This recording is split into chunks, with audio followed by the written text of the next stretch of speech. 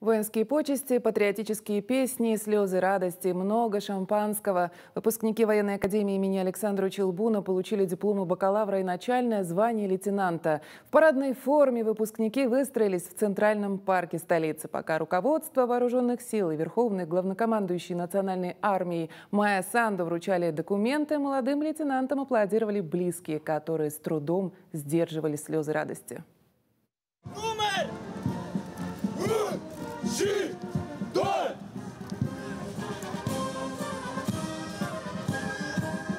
Торжественная церемония прошла в сквере Кафедрального собора. 45 выпускников военной академии имени Александра Челбуна выстроились перед триумфальной аркой, где им вручили дипломы и звание лейтенанта. Perioada anilor 1995-2021, Instituția Militară are 1940 После молодые лейтенанты исполнили хором композицию «Офицеры», посвященную сотрудникам правоохранительных органов и по традиции выпили шампанского из каски. Выпускники признают, профессию выбрали отнюдь нелегкую, которая требует огромной ответственности, но уверены, носить лейтенантские погоны будут с гордостью.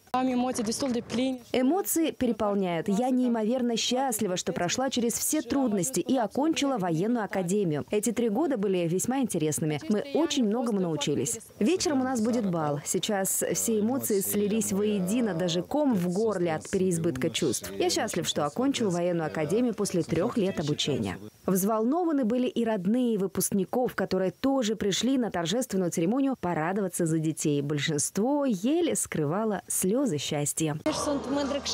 Горжусь, что он не просто выбрал эту профессию, но и миссию в жизни – защищать страну. Что вы испытали, когда увидели сына в форме? Видите, до сих пор в слезах. Это наша гордость, гордость нашей Родины. Гордимся неимоверно и желаем успехов. Желаем всем студентам огромной выдержки и сил, родителям здоровья и только радостных моментов от своих детей. После окончания Академии военнослужащих отправят на службу.